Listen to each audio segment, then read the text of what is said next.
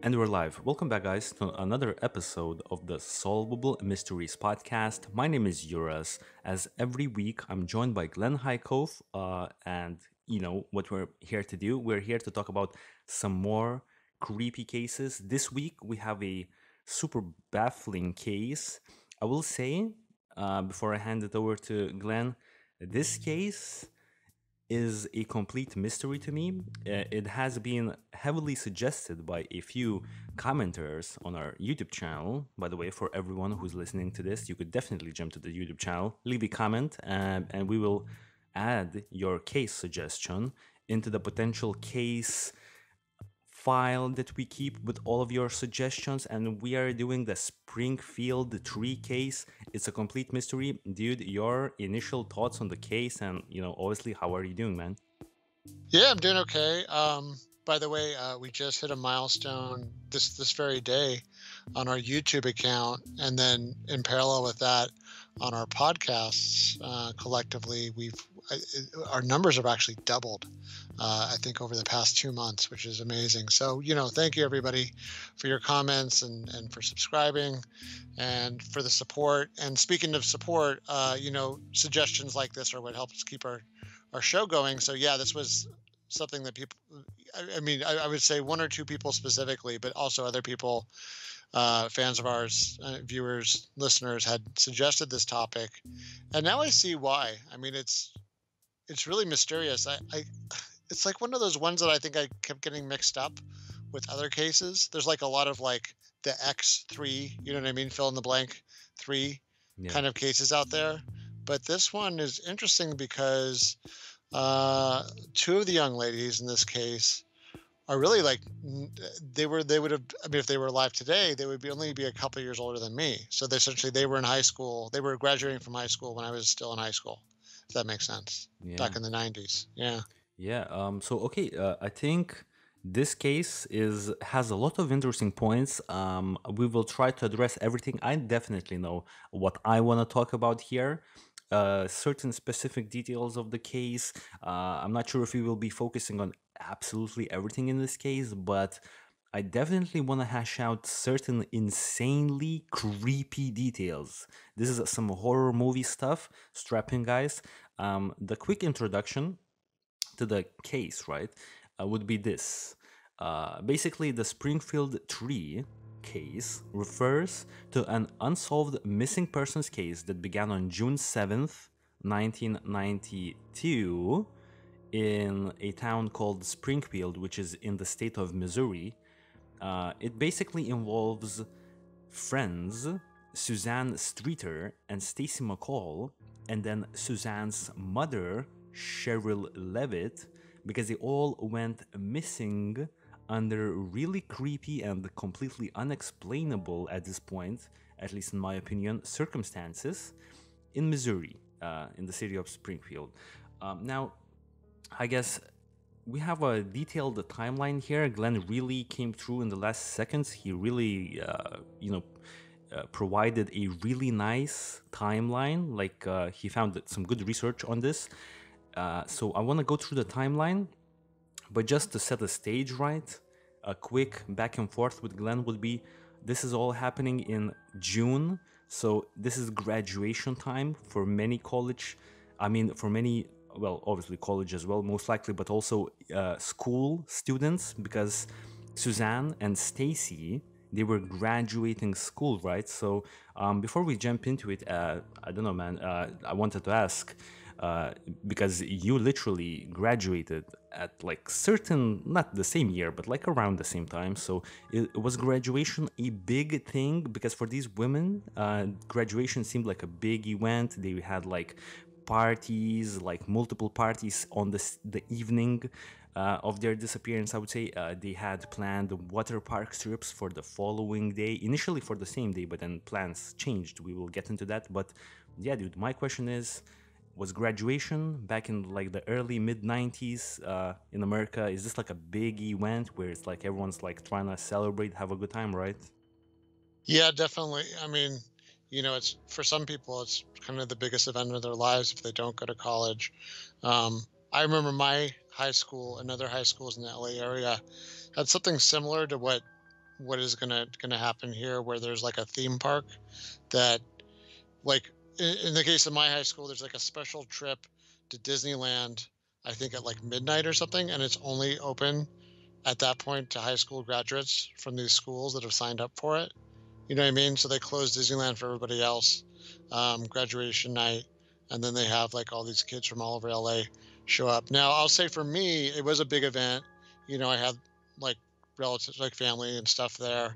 I had kind of a weird senior year though. Like I had sort of like, uh, I don't know, I wasn't entirely into.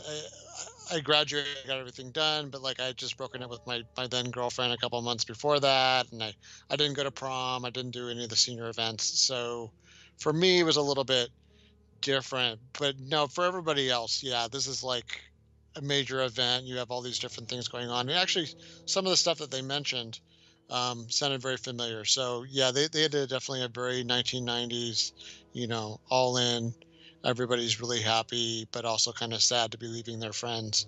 Kind of graduation. All right, all right. Um, okay, so before we jump to the exact timeline and the particular interesting timestamps, I want to quickly go over the victims, starting out with um, Suzanne's mother, Sherrill Levitt. Uh, she was 47 years of age at the time of her disappearance. She was a single mother to Bart and Suzie Streeter. Bart wasn't living with them anymore for um, reasons we will we might discuss later. There was some family drama. Uh, now Levitt was uh, twice unhappily divorced. She moved to Seattle for a new start in 1980. She and Suzanne were very close, it says here but the relationship with her son Bart was volatile. Bart had like substance abuse issues uh, regarding alcohol.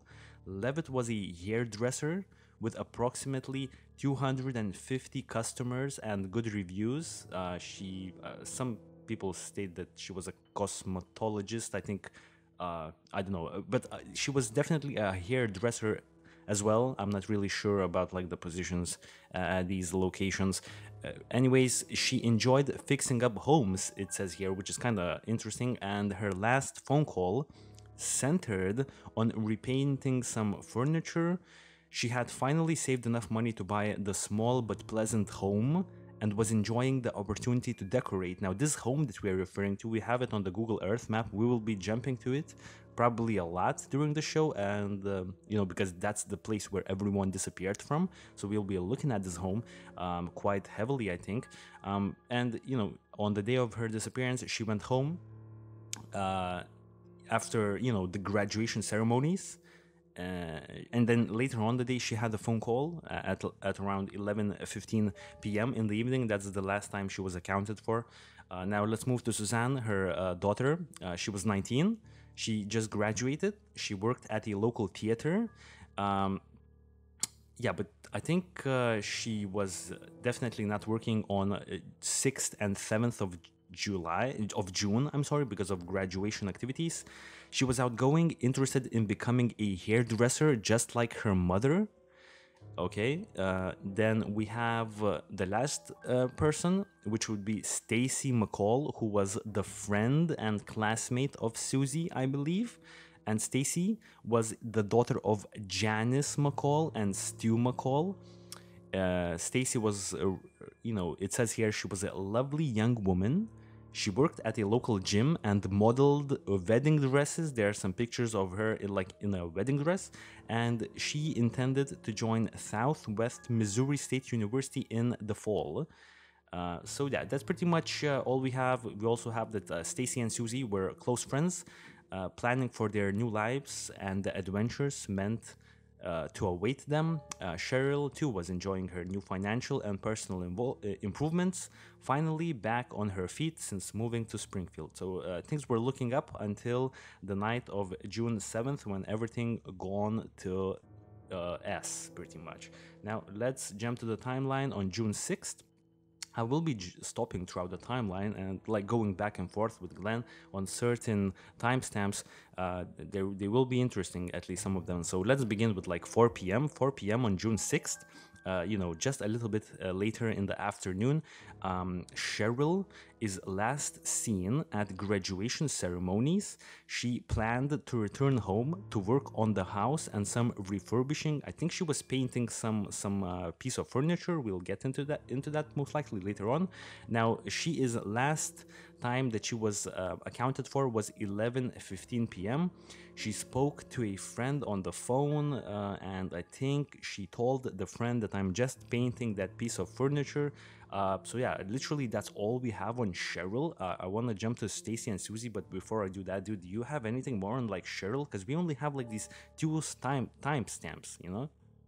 No, that's all i have heard about her either uh, from my side.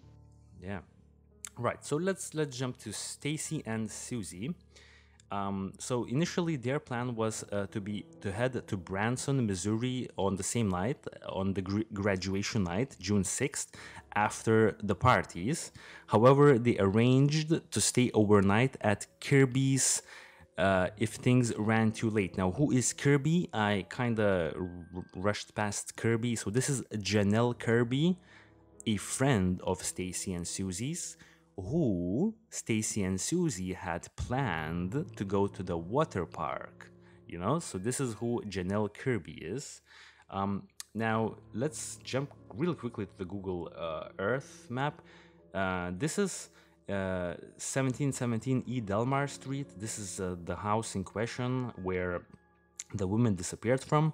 And this is Battlefield. This is the town of Battlefield. This is where, uh, for a good period of time, the two women spent partying. Let's go through the timeline a little bit here. Uh, so 6 p.m. Gradu- graduation ceremonies end.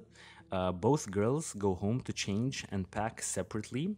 Uh, so you know, Suzanne goes to her home. Stacy goes to her home after graduation. They pack. They hang out with the family, uh, but they meet up at around 8:15 uh, p.m. to 8:20 p.m. Uh, to go to parties in Battlefield. You know, so two hours after the graduation, they do their thing. Now they're back partying because that's what you do on the celebration on the you know uh, I guess.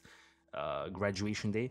Now at 8:30 p.m. they attend a party at Brian Joy's home. They arrange to stay at his house as night falls. However, he eventually re- cans his offer. So apparently he's like, "Yo, guys, you could stay at my place uh, tonight," but then he's like, uh, "Guys, I don't think you can stay at my place tonight." Is that like what had happened there? Because I'm because before even looking at this particular timeline, I haven't I have not even heard about this Brian Joy person. You know? Yeah, I thought I heard a version where they were gonna go hang out at one house and then they like like like even before the other switch that happens mm. later later that night where they they were they were going to go hang out one house and then maybe they decided for whatever reason it wasn't going to be their kind of party. I'll also say it is possible maybe maybe the subtext is because this just happens right?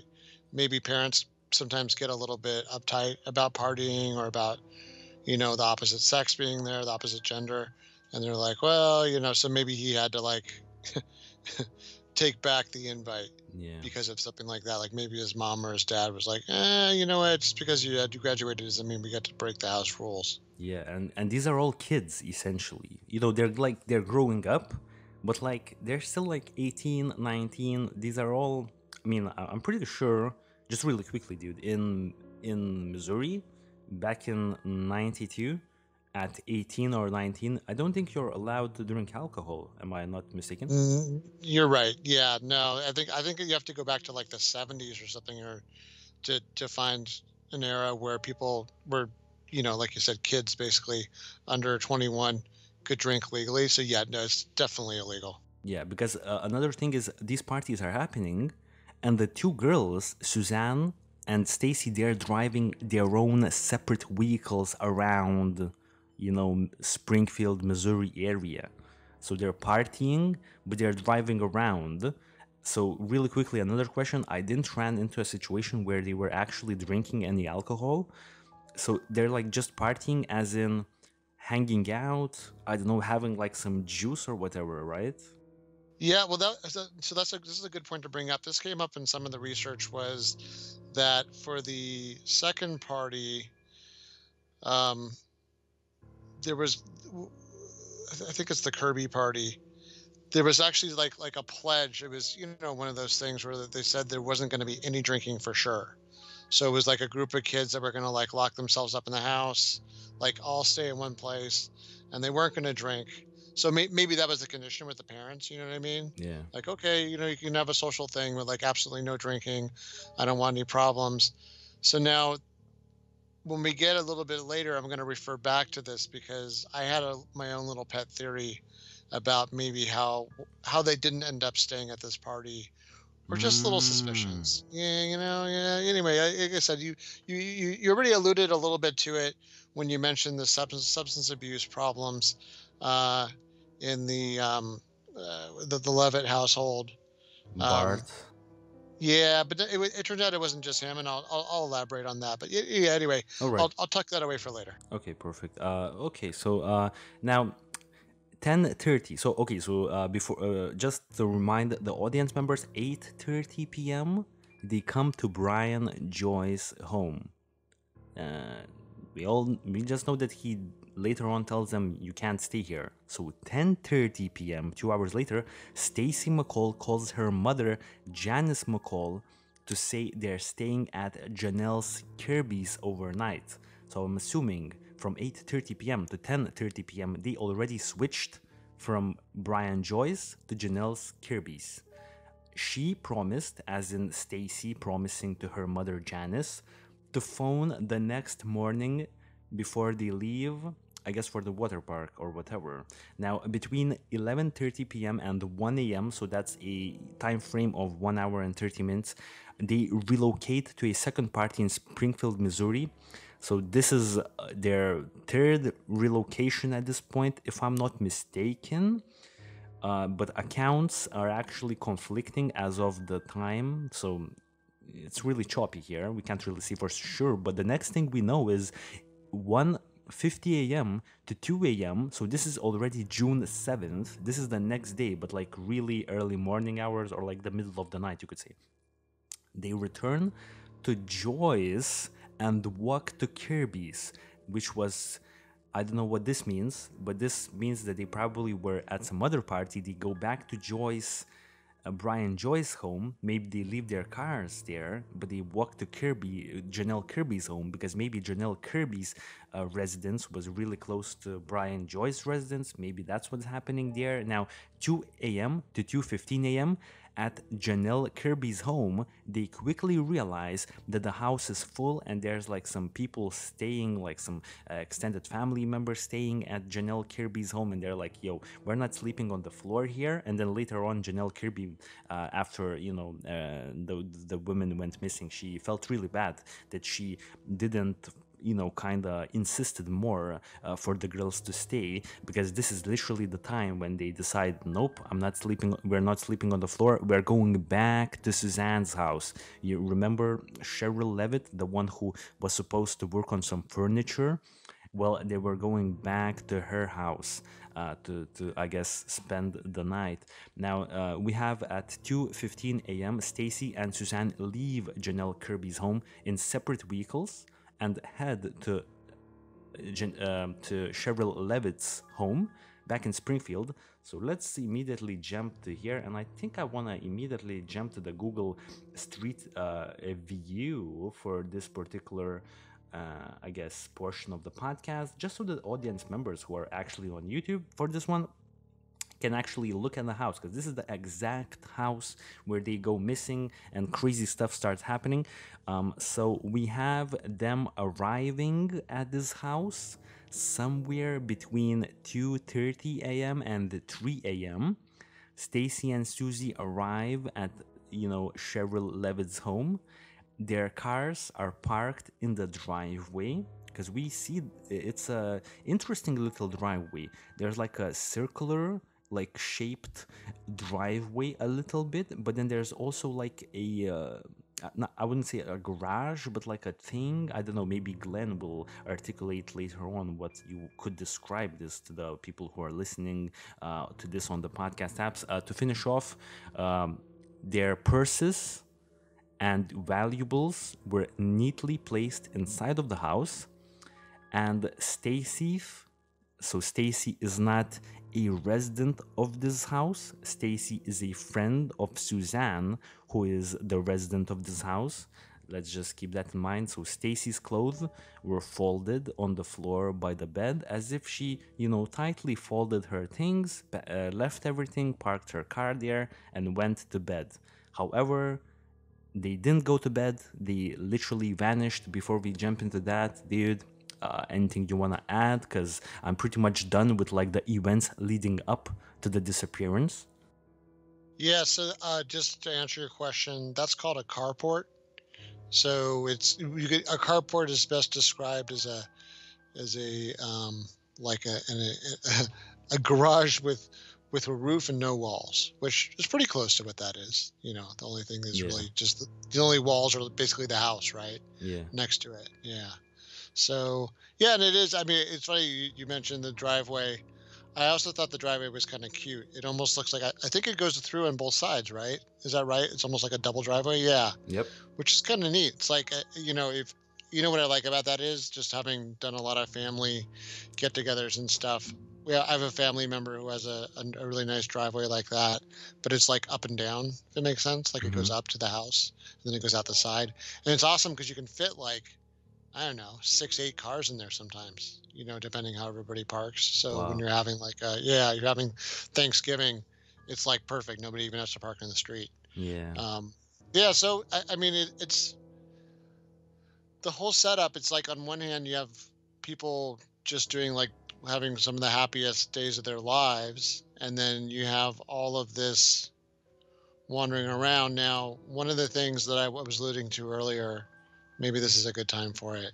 Yeah. Is I kind of wonder. So yeah, on one hand, you know, they do point out like the Kirby household had a bunch of people that had come in, you know, from out of town, extended family, probably grandma and grandpa and stuff like that, to come see the graduation. So that's like a little weird to be trying to party around them, right? It's like a packed house. Like, oh, so you're, you know, you're what's her name's grandma? How you doing? Like, I don't know. It's, it's a little Janelle, weird. Janelle Kirby's, yeah. Janelle Kirby's grandma. Oh, you know, like like want to do shot. I mean, not drinking, but then I guess the other thing I kind of wondered was because there's there's some in some of the, the the research, I guess there was like like uh what's her name um I'm always so bad with the names of these things. recently, I, I say yeah. so hard, but I know like, I need to have them in front of me. Yeah. So um who who are you? Uh, uh, sorry, sorry, Stacy, Stacy McCall. Yeah, yeah. Stacy McCall had actually called her parents and like let her, you know, they, they, she kept them in the loop. So I mean, it wasn't like she was being deceptive about any of this. And that's you know full disclosure. She had been like, okay, like you know, we're going here, we're going there, and then I think her parents were actually kind of relieved because they trusted um, uh, Mrs. Levitt or Ms. Levitt, I guess at this point. Sherrill. Sherrill Levitt, yeah. That, that, you know to have you know as a good friend or whatever, a pretty good friend. So okay, you're gonna stay at her house. But here's the thing, like so, her son, who's you know not missing and alive and been looking for everybody, he mentioned that the family, it wasn't just him with the, the substance abuse issues. It was like the mom, the boyfriends, the people she'd been intimately involved with. It was like a family with a history of alcohol issues. Mm-hmm. Um, and I can't help but wonder if there was any kind of like, well, you could just go back and have a couple drinks at our house, and no one will know. And you know, I think I, I, could see some people getting mad at me for saying that, but you know, it's not unheard of. I've I've definitely seen that situation before. So I don't know. It is a little bit weird that they didn't stick with like the kind of sane and sober party plan. I get because they, they were supposed to go to a, a like, like, a water park. I think the next day is that correct? Yeah. They're supposed to drive down. Um, well, uh, just uh, a quick. Uh, you know, for people who have never heard about the story, so regarding the water park, I think the water park wasn't the the main event of that trip. Uh, they initially planned on June sixth, graduation night, to go to the town, which is out of town, not in Springfield, that has the water park rent out a hotel room party there and then go to the water park. So I think it's like more of a let's be independent, let's go to this other town, let's rent out a hotel, let's chill out, and then oh, there's a water park. Let's let's go for the water park. So it, I think the main the main uh, point of interest for that trip was like being independent, being in the hotel room, uh, partying. So that, that just to, to pause on that, that's interesting because somebody somebody that goes with them would have to be like I think 25 or over because a lot of hotel, you know, hotels obviously they know what kind of nonsense young people get up to, right? So at least in a lot of places in this country, you can't rent a car or get a hotel room under like certain ages. I think it, maybe it's like 21 for a hotel room. For for rent a car, often it's more like 25. Like I know when I went, when I went to Hawaii with my parents and my wife, like I wasn't supposed to be driving the car. I did, but I, it was like they only wanted you to be 25 or older, which is kind of funny. Mm. Um, yeah. You know what I mean? So it, it, it just just a little logistics. It is kind of interesting to think some some older adult must have been like designated to go with them. I don't think so. I, I don't think so. I think it's like just like them. Uh, maybe it was some yeah. hotel that would take them, if you know what I mean. Uh, perhaps because. I, I, didn't run into anyone older. Um, yeah, dude. Uh, I feel like uh, in respect to Bart Levitt, I just really wanna because I don't think uh, we've. I, I kind of wanna also add uh, the thing that there is a blog dedicated to this case called the Streeter Family Blog and now I kind of want to diverge any possible um, suspicions. At least maybe you have some, but I cl- absolutely don't have any. Uh, towards Bart, uh, Bart Levitt, because he's the one running the website so he's like actively trying to figure out who killed uh, oh, oh my god i just messed up who not who who potentially abducted the three women which included his mother and his um, sister. Now why i say that is he did have substance abuse abuse issues. I think ah, don't quote me on this he had punched uh, Suzanne at some point. I have no idea. Well, I just want to finish my thought. Yeah. Is that he cleaned up from everything that I gathered? He cleaned up and he is really, really, really sorry and he is super uh, sad that his connection with his uh, family ended in a bad way where when they disappeared they were at bad terms because he cleaned up he became a good person and um, yeah just just on my end i didn't find any suspicion why i'm saying this is because in the notes that we have we sort of have him as a suspect. I just want to quickly say that i personally don't have him as a suspect. That's all i'm trying to say here. No no i'm i'm, I'm right there with you. Yeah that's i mean it, so it turns out like whenever anything like what we're about to describe happens they for sure look at everybody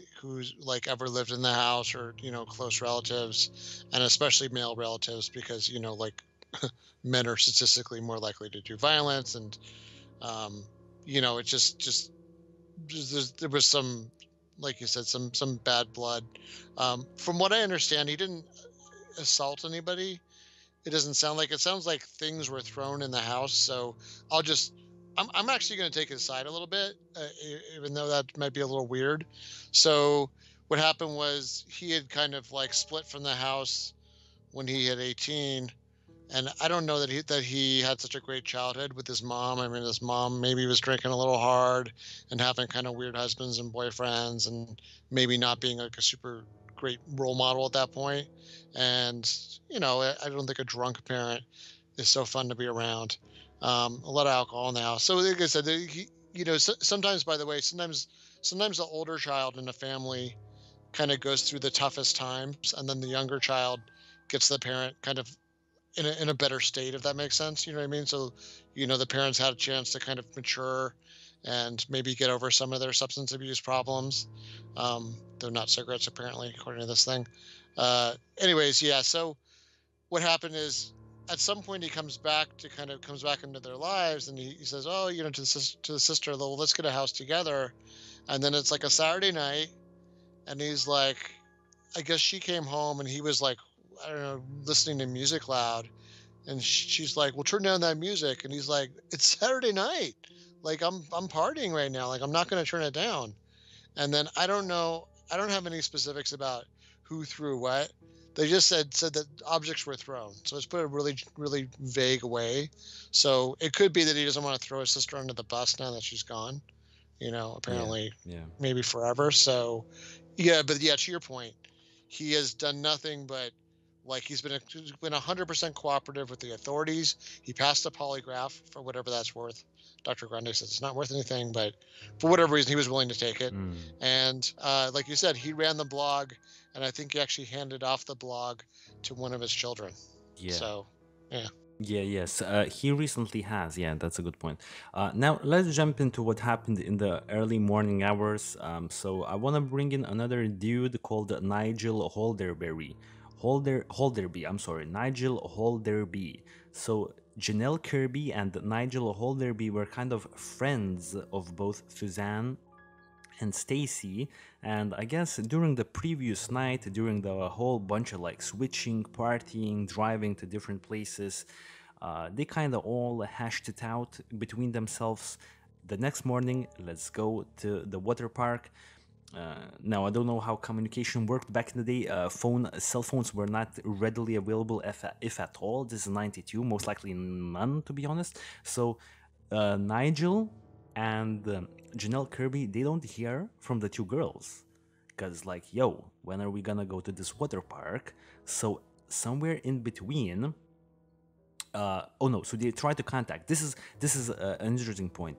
From 7:30 a.m. to 9 a.m. of the following day, Kirby and Nigel call separately to see if Stacy and Suzie are ready to head to Branson. They get no response really quickly. So this is them calling from home phones to home phones, right? yeah, it would have had to be. Okay. Yeah, because nobody nobody had nobody that age had pagers or or cell phones or anything. It was it was inordinately expensive. All right. So so it was a, f- Yeah. a ho- house to house. Yeah. Okay, okay, yeah, that's that makes sense. Uh, now they don't hear anything. Now let's jump to uh, 8 a.m. Kirby, Janelle Kirby's boyfriend Mike Henson decide. So basically, Janelle and the boyfriend, her boyfriend who is Mike, they both decide somewhere in between 8 a.m. to 9 a.m. to stop by the house to check on the girls and they arrive to this exact house that we're looking right now on the Google Street View. The women are not there, but their possessions are all present purses, cars, IDs, etc. And the family dog is like scared, and I heard the report he kind of wanted to be held. So the dog, they, they come in, no one's there, the women are not there. Uh, you know, nothing seems out of place. Uh, and uh, one thing is out of place, I will get into it but nothing else is out of place but the dog is kind of like in the house all like frightened and and things like that so um uh your initial thoughts on the dog really quickly uh he's kind of scared so is this like the, does this is this a strong indication that something was wrong? Or do dogs like i don't know because i never had a dog like do dogs just like do random stuff all the time? Yeah, you know, some dogs just get lonely. I mean, uh, I had I used to have neighbors when I was like their age that I would I would actually get hired to take care of the dog while they were on vacation. And like they would actually pay me to come stay in the house and sleep in the house so that the dog wouldn't be too lonely. So I think Mm. some of that's normal. Yeah. All right. Um, okay, so now regarding the one thing that was out of place, you know, this was the lamp shade of the front porch light, which was broken. So the lamp bulb is intact. The lamp shade that covers the lamp bulb is messed up. It's on the ground. It's completely shattered. It's broken. So, uh, really quickly, apparently this is the picture from back in the day. Now, I'm not really certain the exact time. Maybe this is the crime scene picture or not. Now, I see two places that could represent this lamp and this is kind of a question to the audience members as well. Maybe you guys can tell us because like i told glenn i think this is the place and then glenn is like no but look there's something else. Maybe this is the place this is the thing and i was like whoa so which one is it? So basically what i thought it was was this thing right here. We see this like stool like little uh, not stool i'm sorry like this little uh, like this little i have no idea like a decorative pole? yeah pole. Yeah, like a yeah. With like a lamp and it has like a shade. It, it, it has like a cover right? So I, I, I assume this thing was smashed. But then above the mailbox we see something else here. So dude your thoughts. Yeah, so I think when I saw one of the stories, um, they had zoomed in on that part, the part, the part by the door, and then when I when I think of the terminology, I keep thinking if the first thing, the the, the little lamp on the pole, to me that's not really the porch. To me that's like the path or something, or you know, like it's almost like the driveway. That to me, I mean, it's funny because you know uh, some of our American houses, you know, I mean, mine included, doesn't really have a porch, so they they don't really have it. Their porch is about um, eight square feet. Yeah. Um, You know what I mean? Like like well, like in the old days, you could like put like a couch out, out on some porches Mm, for some of those places. So, but yeah, that's that's what I think of when I think of the porch. Is technically I think of the part by the door, um, and that was actually the part that I found interesting. So, you know, as we kind of get into the story, one of the things I wondered was, and I just thought of this right now, why was the why was the glass broken but the bulb not broken? And I wondered if someone had broken the glass to make a noise to attract their attention, to have them come out, and then maybe they had with their hand, though it would be hot, maybe without a glove, unscrewed the light bulb. This is before LED lights. Unscrewed the light bulb so that you couldn't see who was there. So then when they go to check the light, you make your move. I'm not sure. The other thing I wondered just while while I'm still talking is um, the building next to them, like on our right, uh, from our view, on their right. I was like, well, you know, breaking glass, uh, the other way. Yeah, I mean that one that way too, but also that way right there. I was like, well, and some of the things I saw, the top windows of that other building can actually see over that fence. Um, not the lower ones, but like you know what I mean? Like, yeah, right up there. I don't know if that's a two-story building or not. So I don't know if those are just like you know what I mean, like like illumination windows, and maybe not actually the ones you look through. It's such a weird building that's next to them. It almost looks like a like a utility building or something, right? It doesn't look like a house. I wanna I wanna add uh, real um, Yeah. quick information. I actually did the historical view. I didn't uh, decide to in- include it in the visual assets this week because uh, the reason why I didn't want to include it is because the layout of the neighborhood literally hasn't changed at all.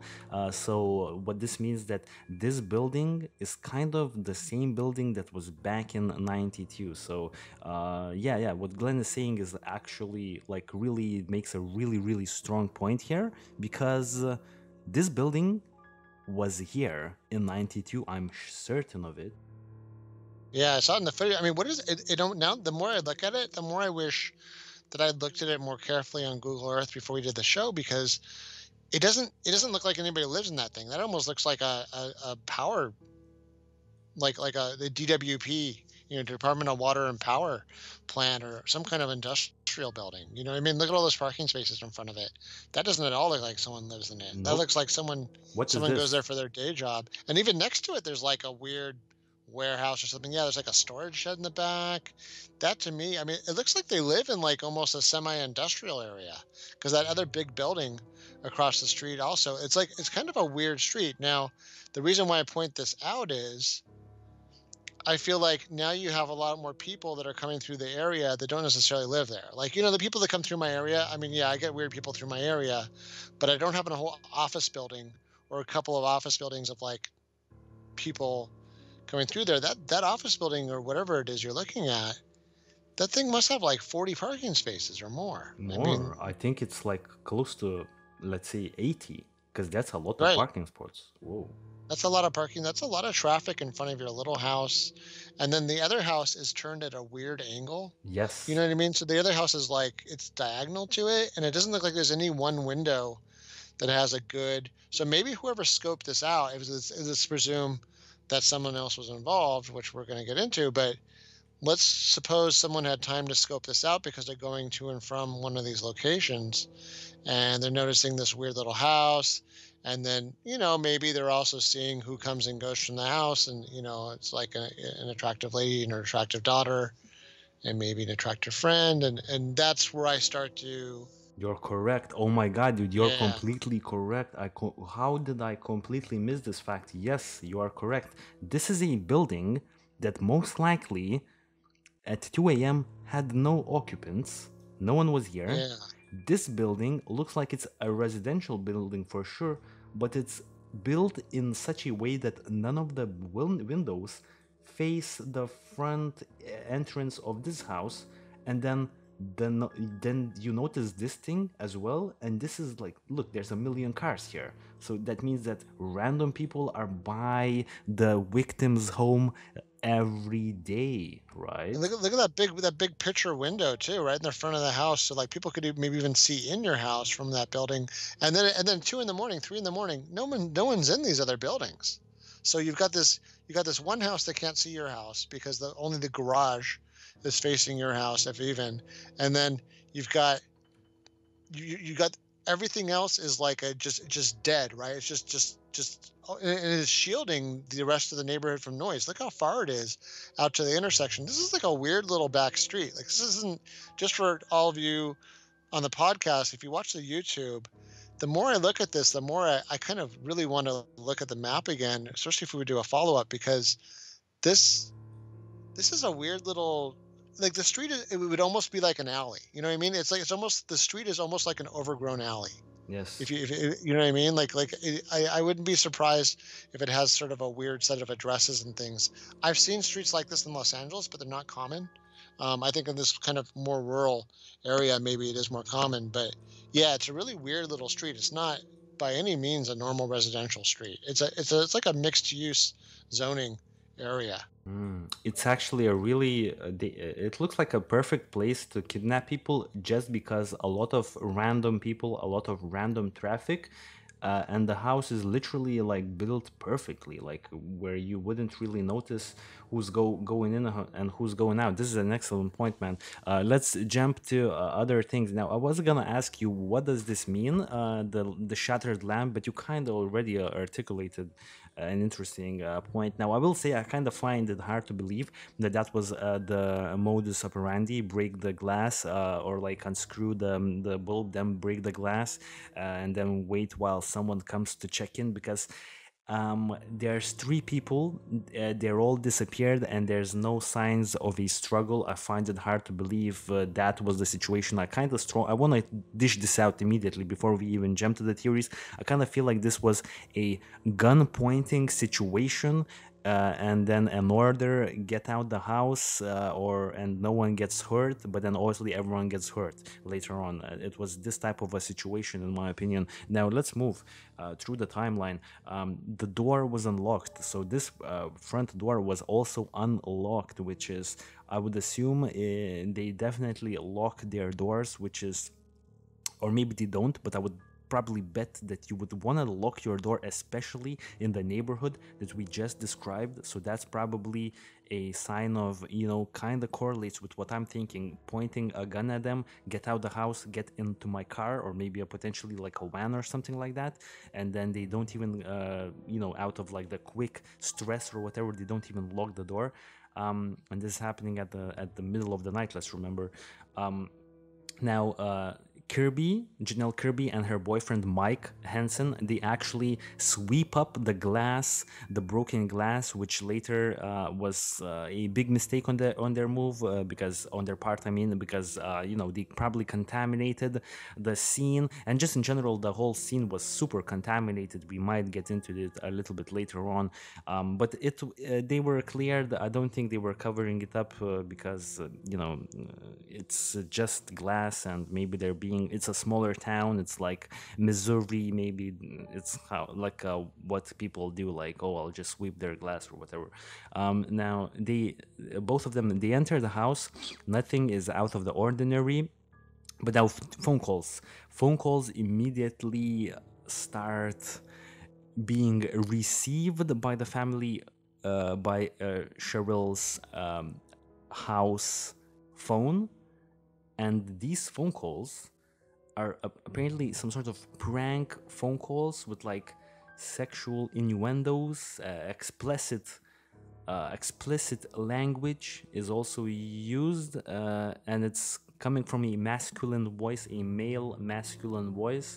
She hangs up, then she gets the same prank caller then she hangs up uh, again so police believes that these prank calls of like sexual like uh, explicit content were unconnected and were prank calls because apparently back in the early 90s prank calls like this was like kind of a big thing because you didn't have like any way to track these uh, phone calls that well. So maybe it's like a kind of a regular thing. I mean you grew up in the 90s you have any more ideas on these two phone calls? I mean i mean yeah no. I mean yeah for sure there's always been prank calls and you know simpsons used to always make fun of prank calls i i never really had any um I don't know if I knew anybody that did any, but I guess the one thing that struck me is if it was a prank call, weren't these like the unluckiest people ever to make a prank call right during a, a major crime scene, potentially, yeah. or disappearance? I, to me, it's I don't know. It's kind of a weird coincidence. So that's just my thought on that. Yeah. Um. From this, from these two pictures, on the left side we have a picture of uh, Sherrill Levitt's bed. It seemed like it had been slept in so we kind of strongly believe that Sherrill has went to bed at some point during the night.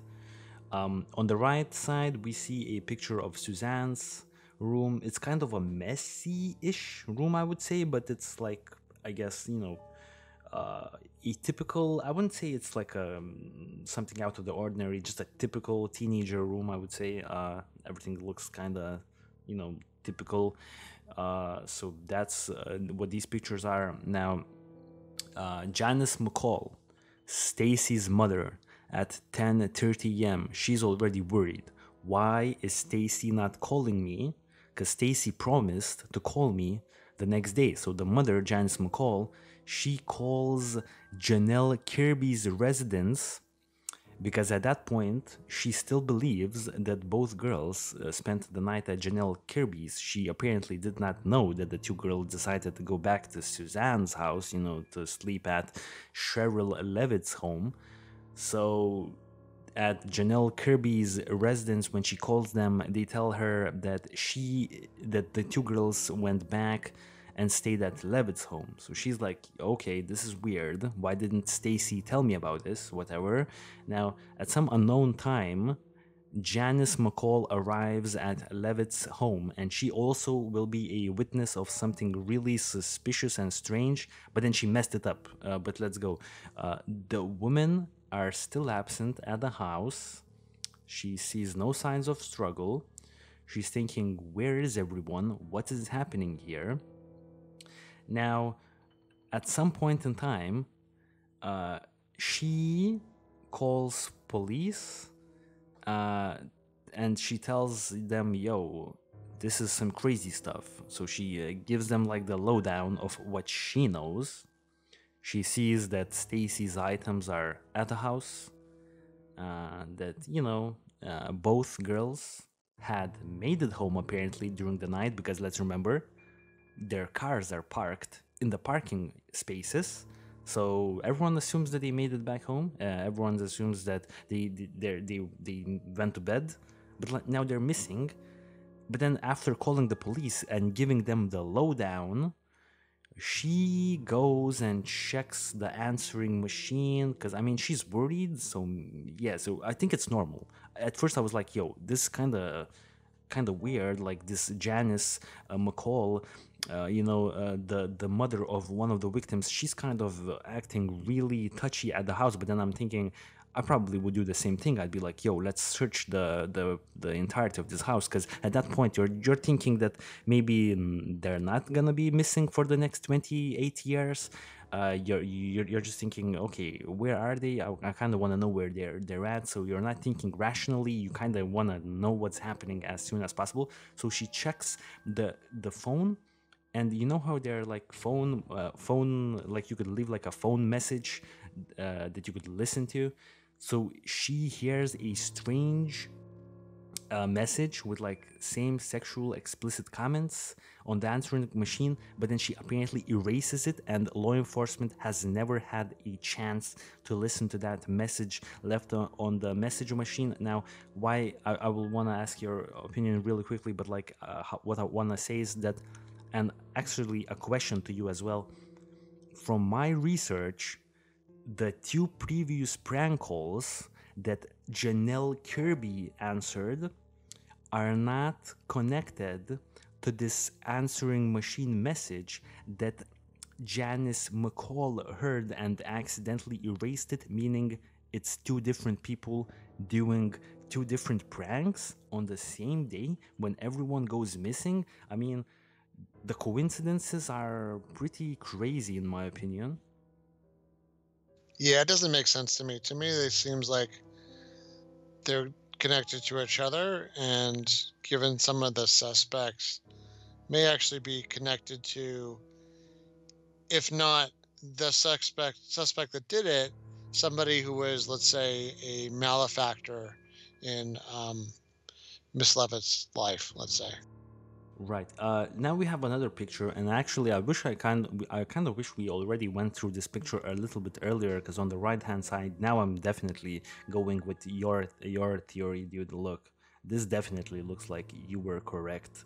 Uh, this looks like it's the the the lamp that was smashed, because we could see like you know just above the mailbox there is this uh, lamp bulb, but it doesn't have a cover. Yeah.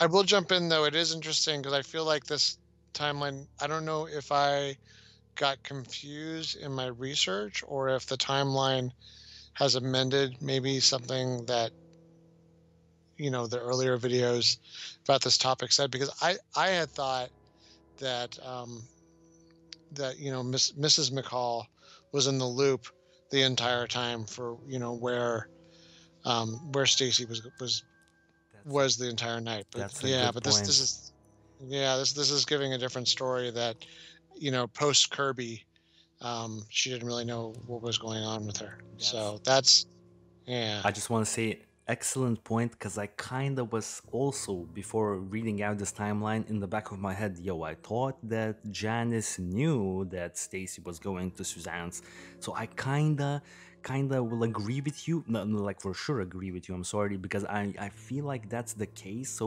once again, super choppy, super messy case, guys. If if something's not 100% accurate pardon us, but I think we're keeping it very accurate, at least ge- generally so far. And now look at the picture on the left. This is the three purses. Uh, the three purses. I'm not sure if this is the crime scene picture because apparently the police only entered the house like what two days later, and within the time frame of police receiving the notification of something being wrong and then entering the house which was like a good two days or something like that apart there were up to 10 to 20 people inside of inside the house contaminating the scene. So i'm kind of curious what do you think about the the, uh, the layout of the uh, the three purses that you can see? These are the three purses that belong to the three women uh, do we kind of think this is exactly how they were left uh, when you know Janelle Kirby and her boyfriend first entered the house, or do you think this is like a like a product of uh, a lot of unnecessary crime scene contamination? Yeah, I think the latter. I mean, I, I the way they were described in the research was that oh they were all lined up and it was really weird. And then yeah you look at that and it just looks like oh three people threw their their stuff together. But the fact that everyone else seems to have this inventory of what was in the purses i do not think that they were at all good about putting things back where they found them. So, or you know what I mm. mean? I, I'm sure that whatever, regardless, even if you try to be really careful, you're going to contaminate the crime scene in a lot of different ways just by by moving it, even if you think you're putting it back in the exact same place. One thing, one thing. Sherrill Levitt had nine hundred bucks in her purse. Okay, so uh, this immediately kind of makes me think maybe this was not intended to be a robbery. Because let's remember, nothing seems to be missing besides the woman, and Sherrill Levitt had 900 nine big ones in her purse and they're still there. So it's kind of don't you think it's kind of weird the, this definitely seems like an abduction and not a uh, robbery gone bad let's say right? Yeah, I mean the house isn't ransacked or anything, right? It doesn't appear that anything of value was taken. cars everything's there. Uh, nothing seems to be missing besides like the the, the lamp on the, the lamp cover on the uh, porch is shattered um so you know she deletes it whatever whatever uh then at 2:50 a.m she deletes uh, the message uh 2:50 a.m in the evening of on June 8th so even the next day she uh, files a police report for missing women investigation launches and that's kind of that's kind of all we have uh, that this is like the story uh, the women have not been like uh, you know they have been missing haven't been found for a lot of years. It's like they completely vanished a little bit and yeah i'm, I'm glad i'm done with the timeline. I, i'm not even sure. I have some questions. Uh, before we jump into the questions part uh, anything you wanna add uh, to the timeline or shall we jump to the questions No, I think it's perfect. Questions are perfect right now. Okay, dude. So uh, I think you know you have a few questions. I, how about you go through yours and then I go through mine? Because like this week we kind of structured it like uh, you mm, uh, added yours first, and then I have a few of mine. So yeah, I don't want to like ran over your questions if you like have you know the ability to like read them out uh, right now because uh, Yeah. they're in the notes. So yeah. Yes, so totally. I guess we'll do questions and then we'll do theories, which probably leads perfectly into some of the suspects or people that have come up of interest. So, yeah. yeah, you know, we mentioned the, the porch light, and it was like, well, was that significant? Was it something co- completely coincidental? I mean, the way people reacted when they got there, it seems like it wasn't normal for there to be broken stuff at the house. Um, but I was just wondering, like, how would that even happen?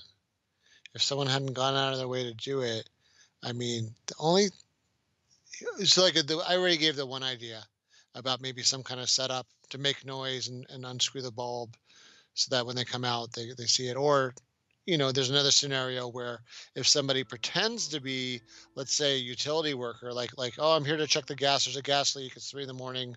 I mean i'm going to go take care of it let me in your house and the guy's got a uniform on which is one of the theories we're going to get into well then maybe neutralizing that light and making it less visible helps you. I don't know. I don't know. It seems weird. So the only other thing I thought of was if you were carrying somebody who was tied up over your shoulder and you were carrying them like maybe head over, you know what I mean? So like it's kind of weird, but if you were carrying them the other way, you were carrying somebody so that their feet were behind you over your shoulder, maybe their feet could hit the the light cover. It's it's I know. It's it's, it's, it's a little bit. Can I? Can Yeah. I? Uh, because I just realized I missed a insanely crucial point in the timeline, and it will kind of like really go well with what you're saying right now. And that crucial detail is that, if I'm not mistaken, Suzanne's Suzanne Streeter's car was parked not where it is parked usually because you know it's her house. She knows where she parks her car all the time like everyone knows where she parks her car all the time. She has the same spot where she parks it all the time. This particular night it wasn't parked. Now we have uh, i don't know if this is the correct placement of the cars and which car belongs to who. I have no idea, but I know that I think Suzanne's car, because someone's definitely, so it has to be Suzanne's. Suzanne's car was parked in a place where it's not parked all the time. And why is this uh, suspicious? Because like uh, when you just like hear this information, you're like, okay, so what's what's up with that? So who cares? Like, but no, let's imagine maybe there was another car already parked in Suzanne Streeter's area where she likes to park her car. That would mean that there's a third party already in the house with Sherrill Levitt when the girls arrive at 2 a.m. Now, this kind of doesn't correlate with a few things. Doesn't correlate with the fact that Sherrill Levitt's uh, bed seems that she has already slept in. So she, if she had guests or like workers or whatever, or maybe it does correlate. Maybe it does correlate. Maybe she like woke up uh, at the middle of the night. Who knows when they entered? Okay, sc- scratch that. Maybe it does make sense. But still, the the the the lamp shattering. If this was a situation like a Trojan horse situation where there's someone coming inside of the house pretending to be a friend, a family member, or like a utility worker, uh, and then whips out a gun and it's like, "Yo, get out the house, get in my car, let's let's let's go, let's go, quick, quick, quick." If that's the case, then why is the lamp shattered? Um, as you've said, you kind of explained it. Now in my head, you kind of explained it. You kind of said like maybe as someone was like kind of rushing and brushing out the house, maybe they kind of clip clip the lamp, and then that's how the lamp uh, like gets kind of destroyed. Maybe that makes sense. Okay, so so so all I'm gonna say is yeah, I kind of as I just went, I kind of answered my own question. So maybe it's not that suspicious. Okay, but whatever. The uh, sh- uh, sh- uh, Suzanne's car is parked not where it's usually parked. That's what I'm gonna say, man. And yeah, continue. Yeah, well, I mean that's perfect. You went through it because that's sort of like deductive reasoning. That's good to hear that. I think that train of thought um, for for where that reasoning comes from. Um, so yeah, perfect. Uh, the, so the, another thing was, you know, we just mentioned the purse purses. So there was a couple weird things with the purses. So purses all in a row, at least according to witness testimony, before they contaminated the crap out of the scene. Um, money still in purse, and then apparently um, both uh, uh, Suzanne Streeter and um, Sherrill Levitt were both at this point chain smokers, which you know. that's not really good parenting, by the way. So that you know, I, I, just as a side note, that's what makes me kind of not feel so good about um, Miss Streeter there, or, or sorry, Miss Levitt, Sherrill Levitt is is that I don't know, your, your kid really shouldn't be smoking at that age, um, and then the chain smoking thing is uh, whatever, but for whatever, whatever. I, I know. I, I'm I know. I know. I know. We're, we're, we're, gonna have all these, all these angry cigarette yeah, smokers. Come on, man. Hey, Glenn, go to hell. On, I mean, man. hey, hey, you know what? It's it's gonna kill you, and and it's and we only smoke because of propaganda. So that's just my two cents about that. Though those cigars, I don't mind cigars. Cigars are great because that's quality tobacco. But yeah, no, cigarettes are are are freaking coffin nails. Um, yeah. So anyway, but the, I think we all know though a chain smoker cannot stand to be away from cigarettes, right? For sure, because it's a major addiction. Yeah. Uh, it's addiction to nicotine and sticking a chimney in your mouth. So yeah, like so that was right away. There's like all the cigarettes and stuff were still in their purses. So that right away was another surefire giveaway. So I'm saying this because I'm starting to build a case, just the same way with deductive reasoning that you did earlier, that it makes you start to check off what doesn't seem like a motive. So it doesn't seem like a financial motive, and it doesn't seem like anything was taken to like sustain the people that disappeared. Yes. You know what I mean? So like the things that these people needed for comfort, like if you were going to take somebody with you for like another life or something like that, you know, say say they ran away, they would take their cigarettes, right? You would at least take your mm. cigarettes even if you wanted to like leave everything else behind. That doesn't sound like anybody was intended to live very long, let's say, if they made them disappear. All right. Um, and then I, I'm gonna I'm gonna kind of save one of these other questions for after we get into yeah. some of the other theories. But I will say just just really quickly going through the rest of these prank calls. Are the prank calls connected? I think yeah. I think they're they're, they're either connected to the actual quote unquote crime if there's a crime, or connected to some of the bad guys that were in um, Sherrill Levitt's life. Um, and then yeah, like like I think in terms of the the like th- yeah yeah no I mean I mean I mean I guess I guess I think that's it right now. I mean for for now I think I think I, I'd be better for me to turn it back over to you so I can save some of this ammo for later in the show. Yeah, uh, just really quickly, just to go through the questions that I had lined out, because my questions are like more like um, really short questions. That is like a yes or no question. So I think we could like really quickly breeze through past mine. So yeah, are the phone calls connected? Uh, you say yeah. I kind of say I have no idea because uh, maybe it's a weird coincidence. I don't know. Comments in the comments, guys. Leave your thoughts. Now, why were there no sign of a struggle? So, really quickly, in my opinion, the only way is gun in the face and get out the house, get in the car. So, your opinion, uh, what other way could an abduction of three people lead to no signs of struggle even after contamination of the scene? Like, would you still not see at least one strange thing because like the people the next day didn't they, they didn't see anything strange i think it's like a gun to the face get out the house type of a situation Yeah, I agree. I mean I can't think of I mean nothing even other than that one little thing seems broken and the thing that was broken doesn't seem like the kind of thing that would be broken in like a physical struggle. Mm. So yeah, there was either massive coercive pressure used. I mean, it had to be that. It couldn't even be like, oh, just come in this car. We're gonna go for a ride.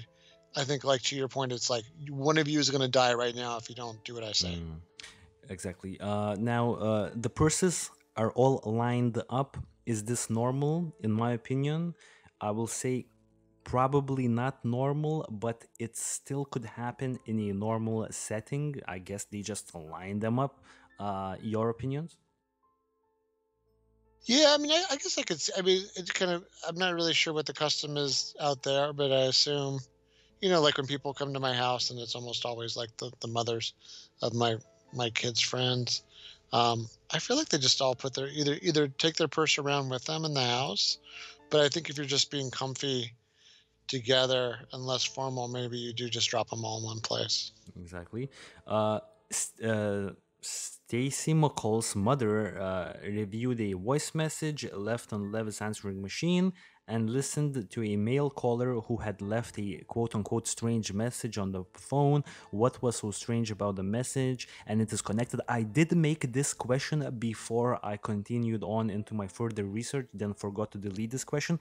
I wasn't supposed to even have this question in the section anymore because I feel like we already hashed it out, and I feel like there's uh, it's it wasn't of a sexual nature and it was a kind of a prank as well a little bit. It's really unclear because um, law enforcement never listened to it, so it's only we can only speculate. We won't get really anywhere with speculating about this particular detail because it's just no way of telling. Last question. And this is another crazy horror movie detail. This is the horror movie detail of this case that I was referring to. Another thing noted was that the television had been turned on but was not on any channel just a fuzzy screen because you know there are like some channels uh, that if you like go flip through the remote and, and then you go to like channels that are not like supported uh, by your uh, cable provider or whatever it's gonna be a fuzzy screen. So it was left on and it was fuzzy. How do you explain that dude? Because it was not i just want to quickly say it was not a tv station that is fuzzy some it was not a channel that would be fuzzy for some period of time and then would not be fuzzy on another period of time. It's like 24 hours per day. It's fuzzy and it's like this fuzzy screen. It it shows nothing. So it couldn't have showed anything even during the evening. So it's not like they got abducted and forgot to turn it off. It was literally fuzzy even then. So uh, how do you explain that man? Yeah, I, I think I it's funny. I just thought of it this this moment. So, all right, turning back time. Um, nobody had DVD players in 1992. Nobody had even like well, almost nobody had laser disc players, if you know what those are. yeah Um, th- so this is I don't. Did, did you ever own a VCR? I think so, yeah. But, but it's like way Okay, back in the day. Yeah. way back in the day. So uh, maybe this is like for people closer to my age. This will be memory lane. When you had a VCR, you would put it on either two or three. So one of those two channels almost always was a non-station. That's why they set it like that. So your VCR would have like a little switch. So you would turn it to two or three so that there was no signal. So if you were going to watch something on the VCR, you would have it like on channel three, and that's fuzzy. And then you turn on your VCR and it kicks right in. Does that make sense? So Yeah. you didn't even have like a there wasn't even like like an input setting on your TV back then. It was literally like you plugged in your your VCR to this thing and it went through I think like it went through the cable box and then you turn on your VCR and you would play the VCR and that would be the signal in, into your cable like input in the back of your TV because there was no station there. So that's that's my explanation So, uh, so, so what's when, uh, so so what's the premise here? The premise is they come back home. They they trying to watch some movies or something. Yeah, that's what I, th- I mean for sure because that that was that was like the main source of entertainment. Like if nothing was on cable, and if you don't maybe you don't even have cable, but everybody had a VCR in 1992. I mean, Yeah. some of us had like more than one attached to your TV if you're copying tapes or something. I just think maybe that was part of her TV thing. Even the fact that she left the TV on at night to Mm. sleep. Maybe you put on something like kind of relaxing because there's no YouTube yet, right? So you put on something relaxing that you can just fall asleep to, and then when it when it like is over, it just flips off and it's like, So you know, the lastly, mm-hmm, that's that's that's great, dude. Lastly, then it's kind of we don't think that the the the the perpetrator or perpetrators like left it there as like a mm, trying to make the scene even look creepier. It's it just happened. It's like it's unrelated. That's what I'm trying to say. We, we you would say it's unrelated, right? Yeah, exactly. I think because I I would say why not do the opposite? If I was a killer, why not do like what you see in so many movies where you actually turn up the volume to cover the noise of whatever you're doing. Mm, all right, yeah, that's kind of that's kind of makes sense. Now let's jump to the theories and I guess like the suspects. Um, so I know we have a, a bunch of suspects. I kind of have like uh, the the ex boyfriends of one of the girls. Uh, kind of lined up really nicely. So I, I just want to quickly read this one out because I know you also have some information, but I just want to quickly. I have like this really nicely, uh, nicely laid out information about these people. So this would be Dustin Recla, Michael Clay, and Joseph Riedel. So Dustin Recla, known as Dusty, is a former boyfriend of Suzanne Streeter, you know, one of the missing women. Dustin Recla was charged with felony institutional vandalism. Recla is accused of breaking into a mausoleum, pardon me, Springfield's Maple Park Cemetery on February 30, 21st, 1992. So, February 21st, this is like shortly before the disappearances, like uh, only a handful of months before the disappearances. Uh, now, during the vandalism, he stole skulls and some bones. This is insane. I will get into it shortly with you. Um, Michael Clay was charged with felony institutional vandalism as well for literally the same charge. And then Joseph Riddle, literally the same charge.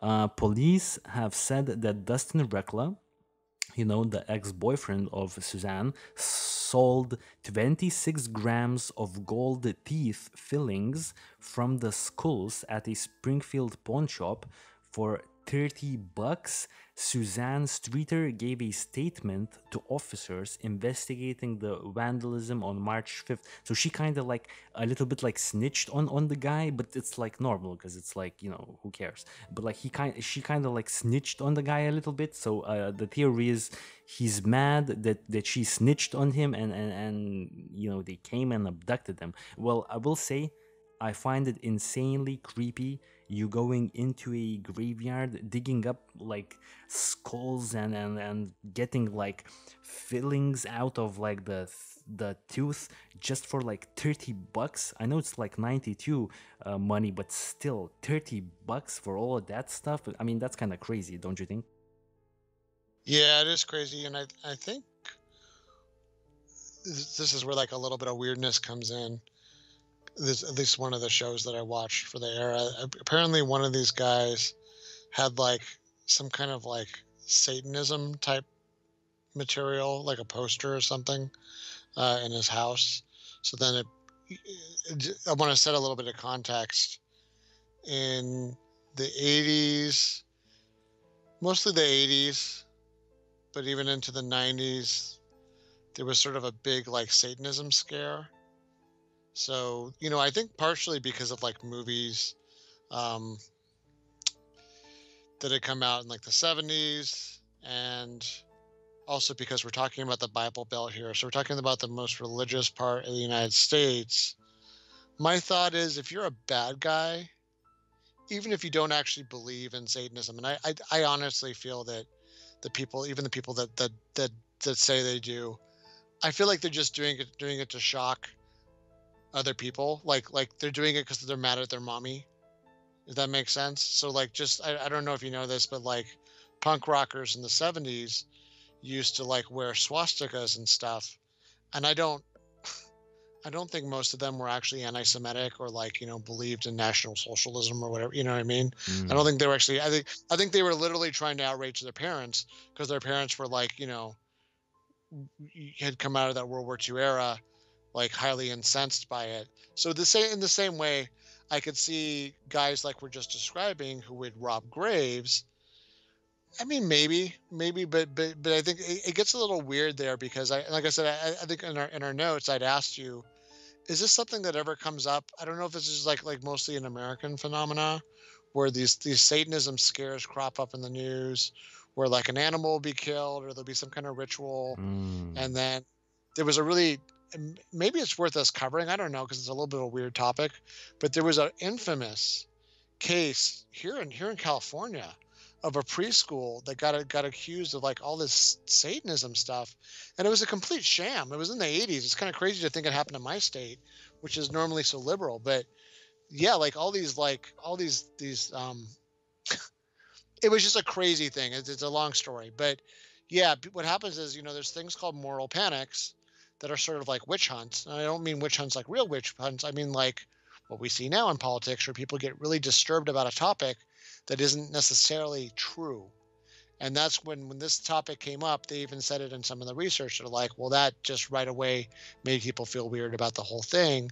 And it almost makes me wonder if they were a little reluctant to dig more into these guys and just told them like, look, just shut up and take the take the plea and like, you know, let's let's let's be be rid of this because we don't really want to dig too much more in your personal lives because it's so. Mm. But then, but then again, uh, really quickly because I, I don't want us uh, to get off track. Uh, would these uh, would these uh, kids because they're like essentially eighteen or whatever would they have the necessary tools to um, get everyone out of the house really cleanly? Like i mean they're robbing graves i mean because i think okay so maybe they rush in the house with like knives if they don't have the the the, the guns? Because like hmm maybe it's a, it's a situation like that uh, yeah. Well that's i mean to me in, in one way they have the motive and then they have like better logistics right? So yeah you're right that they're not they don't really seem very smooth they're doing stupid crimes. They so like from the yeah, they get caught. They don't seem to have the precision that maybe another suspect we're about to talk about has but they do have the motive right because they were going to i think um, it's interesting because I, I, think eh, one of the notes says that actually mrs Le- levitt ms levitt um, sherrill was going to testify against them was scheduled one of the mm. one of the the uh, one of the, the videos i watched said that she was scheduled to like actually testify yes. against them yes um, so, I mean, they have a reason to do something, and and apparently from these other other sources we have, they're in some kind of motorcycle gang. And it's like, uh, you know, which which also, by the way, that that actually kind of makes more sense to me. Some of like, because the motorcycle gangs but, are notorious for liking to do over the top stuff. Oh yeah, yeah. Uh, I, so just yeah. just really quickly, uh, just not get uh, just uh, because I have this thought and I will not have it, uh, so I have to step in here and ask you: Is the risk to reward ratio uh, logical here, even for eighteen year old?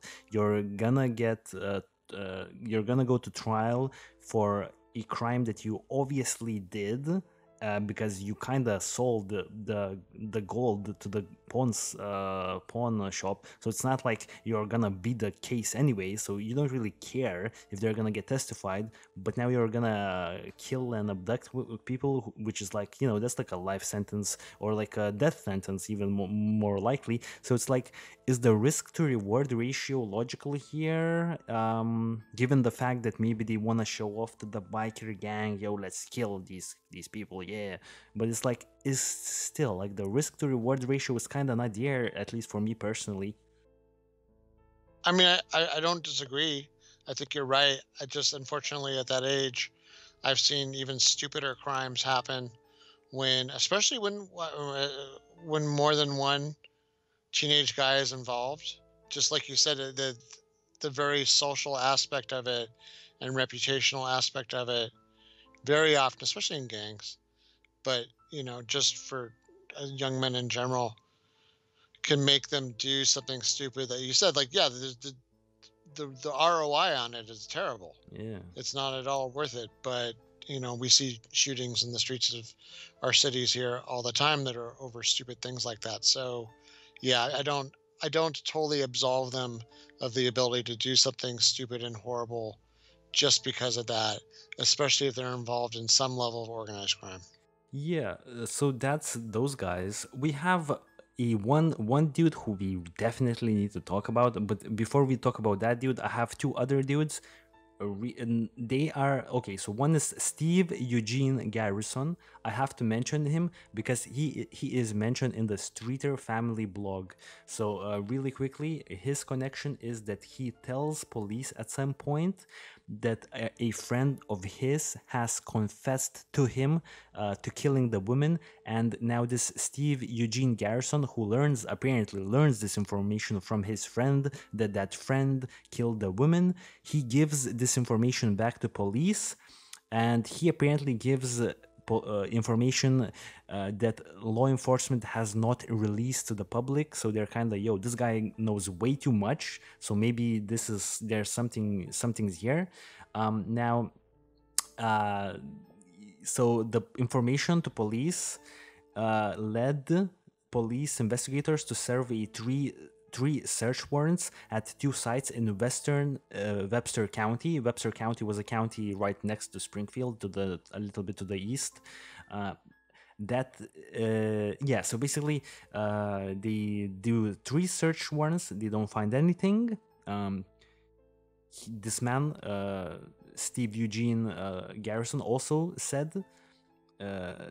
that a moss green van was believed to be used in the abduction. Now, the green van, really quickly, dude, I think you had more information on the green van, just like without stopping here for too long.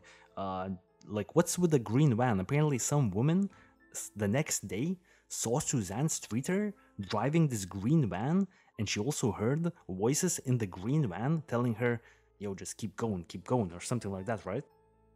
Yeah, there was. This was one of two unconfirmed reports of the activities that happened. Uh, the, the other one was right before they, they went to the house. They were supposedly stopped at their favorite restaurant and looked kind of out of it.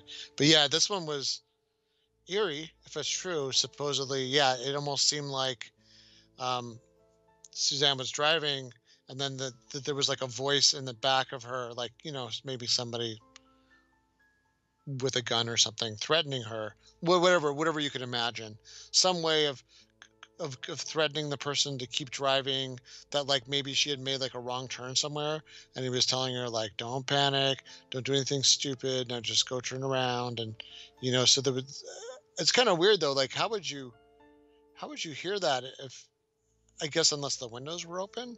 By the way this this van i was kind of amazed that this is an american made van because it looks to me so much like i don't know more like a van from like your part of the world like it looks looks almost like an Eastern European van. Does it look that way to you? It looks like uh, one of those German uh, back in the day VW vans, if you know what I mean, Volkswagens a little bit. It kind of looks like yeah, maybe maybe that's what that's kind of the the prototype of something like that. I don't know. For some reason, I always imagine like this being more of a Central Eastern European model, but I I guess it was it, it was it was like like a Dodge or something from like 1965 to 1970. I, I have a question. If this is correct, like the, the, the sighting, then why is the perpetrator letting uh, one of the victims drive the van? Isn't that kind of not what what vans are meant for when you are a kidnapper? That's kind of where you like the van is where you store the victims. You don't actually let them drive the van, you know? Yeah, I mean, to me, if it is a kidnapper, to me that sounds like they may not all be tied up, and he may have to make because he hasn't had time to, to tie them up because then he'd have to carry them in a van, etc. Maybe that person was paranoid enough to think he might get seen Mm. doing that, or not even necessarily. I don't know, not not have the the implements to tie them up with. So from that point of view, maybe he's planning to have them all in the van with him. He has the gun on the driver, and the other two are just gonna, you know, shut up, or the driver's gonna get it. And then once he gets to wherever it is he wants to go, he's gonna execute all of them. Mm, Okay, so going back to uh, Gene, Steve Eugene Garrison, going back to him and how this van connects, because he tells that he believes that this van was used in the abduction, so you know he's linking the van as well, uh, and also uh, a little bit uh, information on Steve Euge- Eugene Garrison. He is serving a 40-year prison sentence for raping and sodomizing and terrorizing a female uh, Springfield College student in the summer of 1993.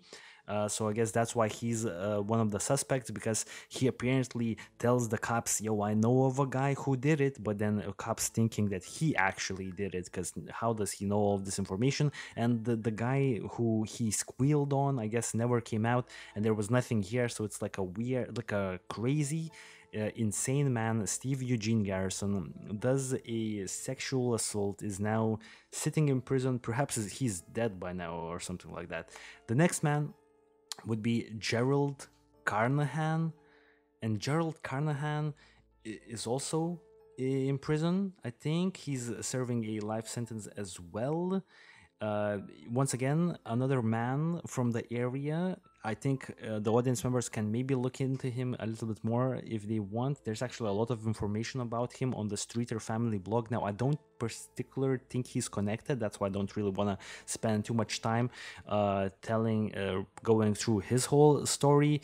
But you know, he's just a guy who also like uh, apparently does crazy stuff in Springfield. Is uh, uh, booked for the murder of uh, some uh, of a murder of a uh, college of a college student named Jackie Johns. Oh no, not called college student. I'm sorry, Jackie Johns, who was 25, uh, who was. Uh, or maybe she was a college student. My my bad. Like this timeline on my end is getting choppy. But Gerald Carnahan is only caught 25 years after the the the deed. So he starts a family, has two daughters, and then when the daughters are like six and eight, they pin it on him.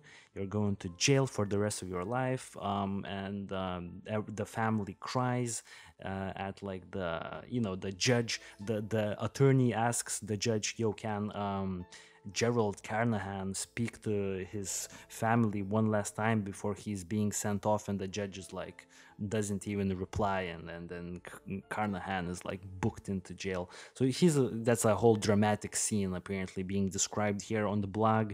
Everyone could read it up. So another dude, really crazy dude, does crazy stuff, could be potentially linked, but I think the real man who we need to discuss is Robert Craig Cox. So um dude, you have any because I have some information, but I want to ask maybe you have uh, like because I think you may have a little bit more information on on Robert Craig Cox. So uh, yeah, dude, your uh, your take on that guy if if you have something to tell us. Yeah, I mean, I'll, I can just jump right into him based on on what we have, and to me, he really is the strongest suspect. I mean, I would put a, a really high percentage. So, imagine this: this guy hits all of these different major criteria for someone that could do this kind of crime because he literally has done it like multiple times.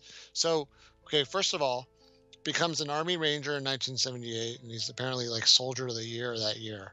Um, which is interesting because one, you know, so an army ranger is, um, this is like like a really high level um, soldier. It's kind of a form of special forces. Um, it's not like a Navy SEAL, but it's kind of in that the same ballpark. Um, this is somebody that learns a lot of skills. The tests they have to pass are extremely hard. They have some kind of massive hike they have to pass at the end of the whole program. Um, and you know they've always said that people with psychopathy are often attracted to um, things like special forces because uh, they're, they're when you're a psychopath you're actually understimulated. You have a lower than normal heart rate. You're not as affected by fear or excitement. Um, and i almost wonder if someone like that craves excitement. Now this isn't to denigrate all of our soldiers and especially people in special forces because psychopaths are not necessarily evil people. Psychopathy is a is a um, like a psychological term and not everybody that has maybe the absence of empathy doesn't mean that they're they're intentionally looking to, to be cruel. But when you combine the two, psychopathy and a need for stimulation with cruelty um, and to do extreme things, well, okay, that's when you come up with this guy. So, yeah, he's been charged since then uh, or been under suspicion of several robberies, kidnappings, and murder. So he had 1978 murder of Sharon Zellers, who was 19 in Florida, convicted, and then the judgment overturned by the Florida Supreme Court for lack of evidence, which you know probably was some kind of travesty of justice, frankly. Um, and by the way, that's like right after he became an Army Ranger. So this guy right away, like right away, being an Army Ranger wasn't good enough for him. He had to go start murdering people. Um, 1985. California assault and kidnappings. The women escaped, convicted, served seven years. So right there, there's him taking people captive and not securing them apparently, or not securing them well enough, and they get away, and he gets convicted. And then 1992 killings, um, suspected of a, of a, of a young, uh, the I-70 killings, young, petite, brunette women, robbery and murder. Now I don't understand how he's convicted in 85 and serves nine years, but is doing this in 92. So I don't know. Wait, could, could you could you could you quickly yeah. uh, go back? What is he uh, booked for in '85? We kind of uh... '85. It was for for assault and kidnappings. It says women escaped. It says convicted, served nine years. But I, you know, like if we just do the math, 1992 is you know less than nine years from 85. So I don't know if he got seven years. Maybe uh, is got, this good behavior? Maybe maybe yeah maybe maybe credit for time served while awaiting trial. It could be because the served nine years part sounds like he served nine years but maybe you're right. Maybe that's it's not accurate the way they put it. Or maybe he got credit because often sometimes for some of these cases if you're not bailed if you can't get bail like you'll sit in jail for sometimes two three years before you even have trial depending on what your lawyer is is trying to get done for you um, while before the case. Um, Okay, so 1993, there's some Texas murders he's suspected of. And finally, in 1994 1995, he robbed a woman and child with a gun in Texas, attempted to enter the apartment of a young woman. Now, and he was sentenced to life in prison. And according to this note, he has a chance of parole in 2025.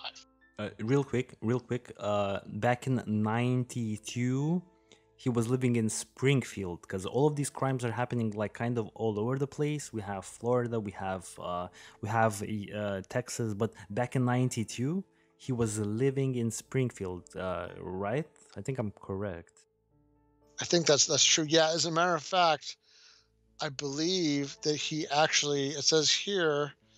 Well, here's the thing that's confusing. It says previously worked at the same car lot as her father. The her father part I think is supposed to be um, Sherrill. Stacy, Stacy, it's Stacy. I, I, remember it's it's. Is it Stacy Streeter? Yeah. Okay. It's not. So, it's it's Stacy. It's Stacy McCall, uh, not Suzanne Streeter, but Stacy oh. McCall's father. Stacy McCall's father worked at like a car sales place, I believe, and he worked at the same place. And now Stacy McCall would bring food to her father and her father was working with the same guy with with you know uh, with uh, with Robert Craig Cox.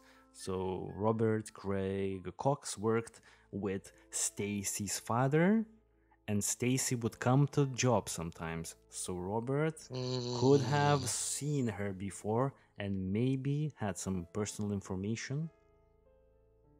yeah, or just or or decided. I mean, let me just say, it's somebody somebody like that who already has this whole other skill set. I mean, that just becomes a challenge, right? For someone like that who's a predator, a known predator, convicted predator and murderer. Um, to me, that person decides to, uh, well, let me say, oh, the, the, the murder part, let me say, apparently it was overturned. So, but anyways, a known, a known convicted predator. Um, to me, that's like the joy of the hunt for that person, right? Hmm. to find out, oh, oh, pretty girl came, you know, came came to my work. Oh, who is she? Oh, I'm just gonna, I'm gonna find out a little more, find out a little more, find out a little more, and then you know, I mean, like, and then I think someone like that, that's the whole point of this. I think uh, it seems like, uh, unfortunately, this person's a little bit short-sighted, or they they value the experience, the stimulation, over the long-term consequences of their actions. But we've already seen that's been his habit. I mean, I would even argue signing up for something like special forces, there's some some higher chance than normal that it's not going to end well for you, right? Yeah. Um, So you know, just Yeah. war or something like that. So yeah, I mean, you know, I mean, in war, a soldier already has a higher risk of something happening to them. Course. if you're special forces, you're doing the dangerous stuff. So Yeah. Uh, just really quickly to throw it back to you immediately. Uh, this uh, kidnapping is happening not in Stacy's home; it's happening in uh, Suzanne's home. So if uh, this is the link, if Stacy is the link, then it's kind of weird how um, this guy Robert Cox would know that Stacy, because under this assumption he's hunting Stacy, he's not hunting Susan. So it would be kind of weird how he knew that Stacy was going to be at Suzanne's home. But then again, it kind of makes sense. Maybe he already like bookmarked this date and he was like maybe tra- trailing her the whole evening and looking where she's going. Oh, she's going to Suzanne's house. All right, this is this looks good. He quickly scopes out the area, looks that this is a perfect place for an abduction. No windows are like kind of, uh, you know, positioned in such a way like no one's gonna see me. I'm I'm going to do this. So maybe that's the case, right? yeah, I mean, uh, I, I gotta watch how I say this, but I think sometimes people can really underestimate the mindset. Let's say the stalker mindset or the obsessive mindset. Mm, So when someone gets really interested in something and really puts their heart into it, I think that almost anybody, I mean, this almost sounds like a motivational speech for like scumbags, but yeah, it's like, it's like, you know, you people can get very creative and, you know, almost just, just like a private investigator, right? So a private investigator will tell somebody and find out all about that person. And like pretty soon they know their habits, they know who, who they know, they do a little bit of what's called network analysis. So then you know, and I bet you this place popped up where the, the person's like, oh wow, I've done this, you know, the, the the Robert Cox or whoever it was is like, oh yeah, I've done this before. This place is perfect. Look at that. Industrial building to the to the the, the right of it, commercial building across the street that nobody's in. No one's even in these two places next to it. It's kind of boxed in. There's not a lot of through traffic through this street. This other house, who even knows if anybody's home there? And then, as I understand it, this guy had like all the uniforms and stuff of like a utility worker. And then there was something that came up in this research where apparently this was even supposedly a ruse he might have used before, where that where Jesus Christ. we're like so imagine that you know he stakes this out he knows that, that, that these people hang out together and then you know fortuitously this evening turns out the way it is and maybe he was doing surveillance Alright. on them Mm. yeah so All right, all right. Yeah, so this guy, you're making a absolutely good case. Just to finish off on this guy, he apparently now is being flip floppy. He's telling the cops, "I know something, but uh, I'm only gonna say it when my mom dies, because I don't wanna embarrass my mom." So you got any more information on him? Like, kinda, because he he's already like serving life for uh, what he did. yeah i mean it reminds me of ted bundy that's the one thing that these psychopaths these cruel psychopaths like that I think I think like uh, once again because there's simulation like I think that's the thing they don't foresee is that if they when they go to jail all of a sudden they even especially if they're kept under like special custody where they're not in general population because they're infamous whatever reason they suddenly lose a lot of that power and a lot of the ability to to get stimulated the way they want. So then at some point they realize they need to play mind games and that this is how they're getting i mean you see it so many times with so many of these guys this is how they get their stimulation. So unfortunately i mean even ted bundy was lying up until like you know two minutes before you know he got executed. Yeah. you know he kept going back and forth and stringing people around and that's that's unfortunately that's all that they can do. They, they, they don't have power anymore so that's the way they lash out and torture people is essentially using social social weapons. So unfortunately because of that you can't you can't trust them. Mm. all right the last thing i think we can't close off the show without mentioning the last thing and this is uh, there was a tip uh, there was a crazy tip from a psychic or like someone who had a vision or something like that because this is like the official statement how it went down from the law enforcement that the three women may have been murdered and buried in concrete at a local hospital. I have this hospital. I will jump to it soon on the google earth uh, for all of the youtube audience. And that the three women may have been yeah, murdered and buried in concrete at a local hospital, but this information has been ruled out because records indicate the hospital parking lot uh, where the information states the woman to be buried began construction after the disappearance of the three women. I'm talking about there's going to be a lot of uh, similar names here. It's called the South Cox South Hospital. So, you know, a lot of COXs in here. And now I think it, it's definitely referring to this particular uh, parking lot right here in the hospital. Uh, right here, somewhere right here. There's a whole video on YouTube you can find of a dude. I'm, I'm i was thinking of playing it, but I'm, I'm probably not gonna be playing it because I feel like we could just like hash it out a lot better. Um, there's uh, a video of a dude doing ground penetrating radar scans uh, because he was hired by a private investigator of some sorts. And now these are the stills from that uh, video that you can see on YouTube where the guy is saying we have three anomalies in this parking lot that would correlate with what you would find after running ground penetrating scans in a graveyard. So it's like he sees something in this parking lot that he would see in uh, a graveyard and there's a whole big petition you dig up the dig up the parking lot dig up the parking lot. Police is saying we can't do it because the tip came from a psychic. It's not legitimate.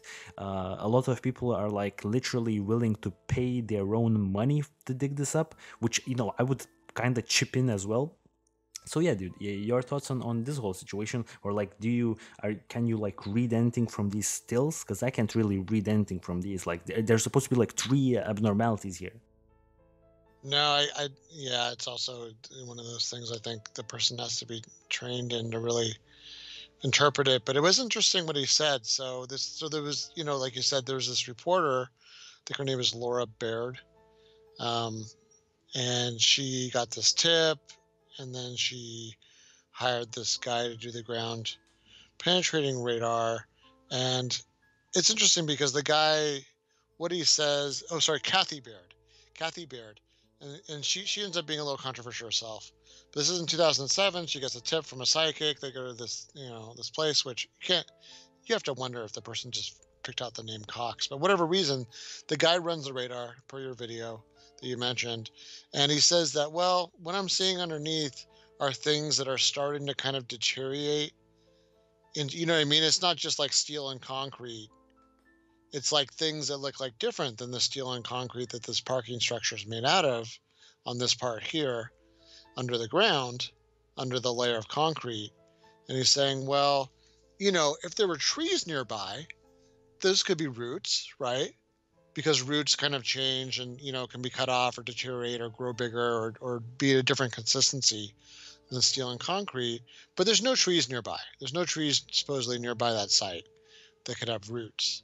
So he's saying, well, you know, it is interesting that you're looking for three bodies, presumably, and you've got this tip and you've got these three things. Now, the only thing that's a little bit problematic or a lot bit problematic is that, well, A, like you said, uh, there's the police don't want to dig it up because they say it's not just expensive it's like even like has to do with the structural integrity of the building. So you might the the parking structure you might have to like maybe do something kind of dangerous or at least knock down the structure. Like it could be really a lot more expensive than people realize and then what about the the businesses using the structure right? They would have to support that too.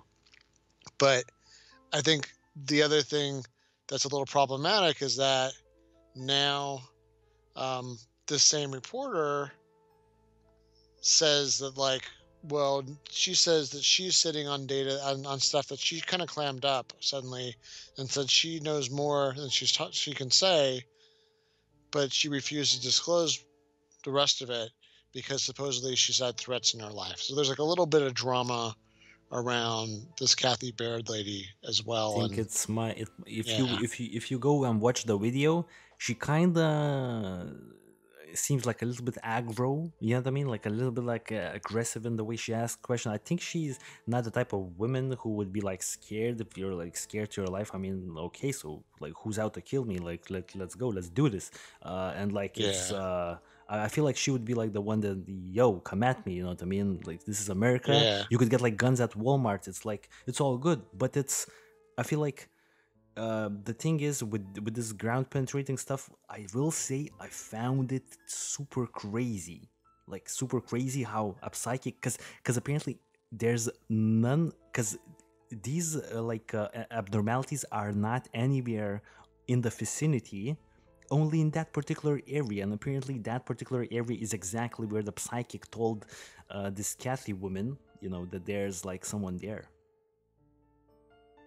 Yeah, I mean it's it's odd. I mean, I, I, I mean, I'll admit I, I'm curious too. Like I, if it were up to me, I would want them to dig it up, and yeah, I don't know. It's just too bad they don't have like just at least one piece of evidence, somebody besides a psychic, because unfortunately psychics have a pretty bad track record with these kind of things. Um, yeah you know, to point at it and say, well, this is this is what it is. Now, I think once in a while, supposedly there have been. Maybe that's a good episode, by the way, in the future. If anybody can point to us, point us to a case where a psychic broke the case definitively, um, that would be, I think, an interesting episode unto itself. Yeah, no doubt. Um, all right, so uh, I guess theories are out of the way. Um, I guess conclusion time. So for me personally, I will say I'm not super strong on on on um, uh, Cox, the individual. I kind of already forgot his full name. I'm just gonna Robert Craig Cox. I'm not super uh, convinced he's the guy because, like, as I've said, like I would uh, assign him like a good thirty percent or like a good twenty percent. Uh, but I kind of feel like he's just being a little bit of a, an attention seeker, uh, doing a life uh, sentence in, in jail. Um, the other suspects, I don't buy them. Uh, well, maybe one of those guys who is just a crazy rapist and has just has no connection to the case. Maybe one of them, the kids, uh, the kids with the satanic stuff. Kind of doubt it. Kind of, kind of doubt it. I think they would do the ROI in their heads, and they kind of would figure out. Let's let's probably pass up on this one. Let's let's rob some more graves or whatever, and then um, lastly, how it went down, in my opinion, uh, someone most likely, I have no idea how it went down. To be honest, I ju- the the only thing I know is that uh, a I feel like there was a gun or a knife to the face and get out the house, and this is so crazy because like I have no idea if this person knew of these people or is this like a random abductor who just came in that night, abducted, and the phone calls, the, the phone calls, how are those phone calls connected? How does that even make sense? The prank phone calls, how is this all happening? Uh, I have no idea, man. This case is insane. I think part two in the future could be a really good thing here if uh, the the fans are interested. So yeah, my conclusions are I, I cannot conclude because I have no idea. This is crazy. Uh, so yeah, that's all I have.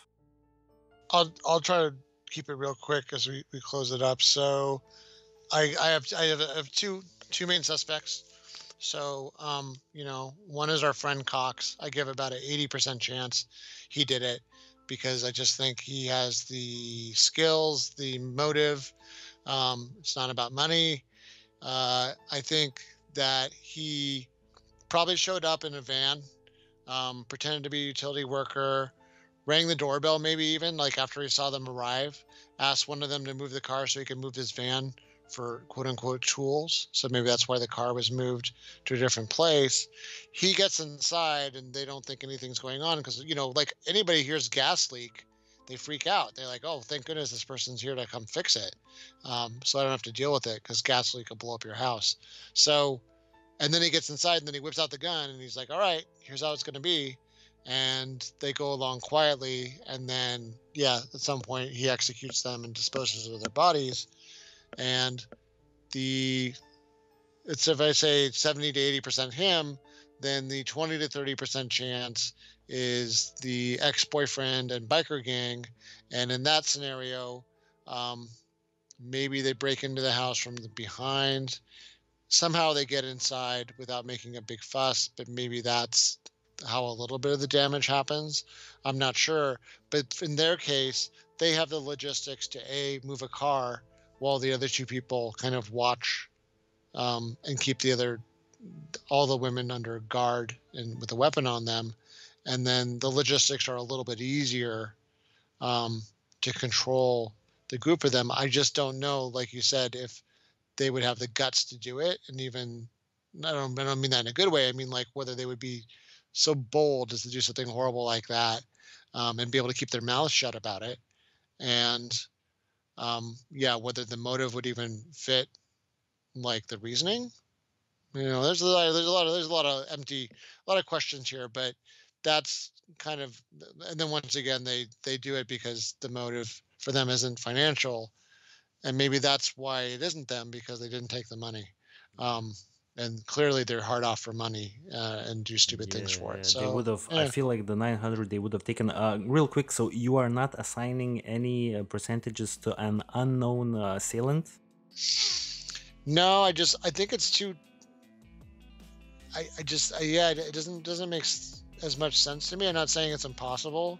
It just doesn't for for whatever reason. I don't see some random person being as crisp and clean as you know. I hold Hmm, Army Rangers Yeah. in in, in, high esteem, even when they're horrible serial killers. All right. Yeah. It it actually. make- Allegedly, yeah, it it it, it uh, that's a good point. Uh, yeah, it makes sense. It makes sense that actually, yeah, I'm kind of thinking back that yeah, this is kind of it looks like it's it's personal in a sense that at least there was prior knowledge to who lives in the house and who am I abducting. So yeah, that's that's a good way to close it off. Um, yeah, uh, I guess guys this was episode uh, 101 you know uh, the first one i guess uh, in in the next 100 of episodes so that's kind of cool and we'll catch you on the next week's show i really enjoyed talking about this case this week and as always uh, leave your thoughts in the comments. Subscribe if you think this was uh, some good content you want to watch again next week. And then we'll see you next week. Until then stay safe and peace out